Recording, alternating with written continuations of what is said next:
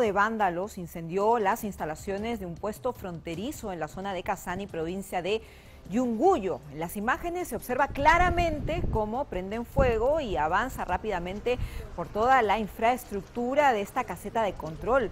Lamentablemente, debido a que no existe una compañía de bomberos en la zona ni ningún servicio de emergencia, no pudieron controlar este siniestro. Mire la envergadura de las llamas.